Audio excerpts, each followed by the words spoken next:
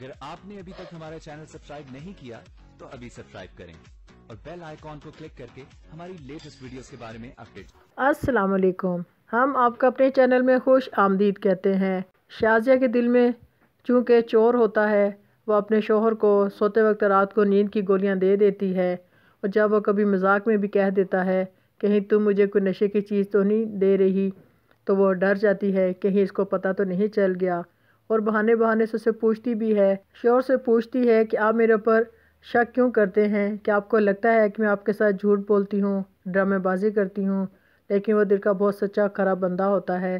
اسے کہتا ہے، میں تمہارے پر بالکل بھی شک نہیں کرتا۔ شازیہ اپنے دیور کو شرٹ تحفے میں دیتی ہے اور خوش قسمتی سے جیسے ہی وہ اسے پہن کر جاتا ہے، اس کا انٹرویو بھی اچھا ہو جاتا ہے، اسے جاب بھی مل جاتی ہے۔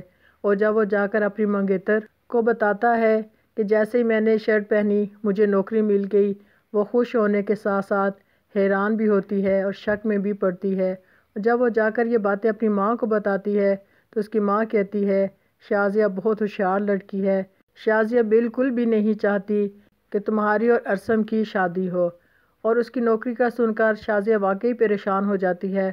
بھاگی بھاگی بابے کے پاس جاتی ہے اور اسے کہتی ہے، اس کی نوکری ہو گئی ہے۔ نوکری کا مطلب پتہ ہے آپ کو کیا ہے؟ کہ اب اس کی شادی اس لڑکی کے ساتھ پکی ہے؟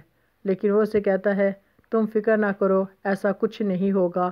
ہم تب وار کریں گے جب وہ دونوں خوش ہوں گے۔ ہماری ویڈیو کو لائک کریں، شیئر کریں اور سبسکرائب بھی۔